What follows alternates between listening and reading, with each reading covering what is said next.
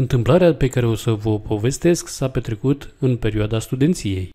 Mă dusesem la Alexandra acasă. Ne cunoscuserăm cu câteva zile mai înainte. Era și ea implicată în yoga. Fostul ei prieten practica yoga și vizitase India de câteva ori. A gătit și ne-am așezat la masă.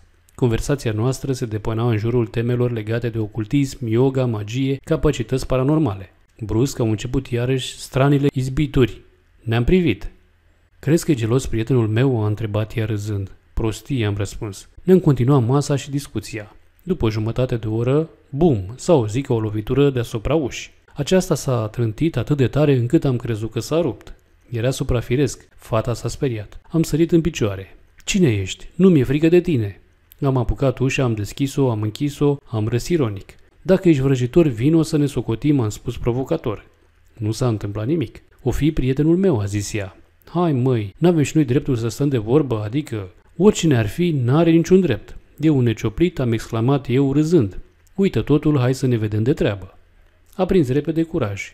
Am uitat de cele petrecute. Timpul trecea repede și agreabil. Aveam preocupări comune și discuțiile ne ajutau să înțelegem mai profund unele lucruri. Trecuseră destule ceasuri. Uitaserăm amândoi cu desăvârșire ce se întâmplase.